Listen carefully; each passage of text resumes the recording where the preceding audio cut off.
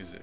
I really like the synthesized music because back in the 90s when I had Windows 98, the internet was very slow, right?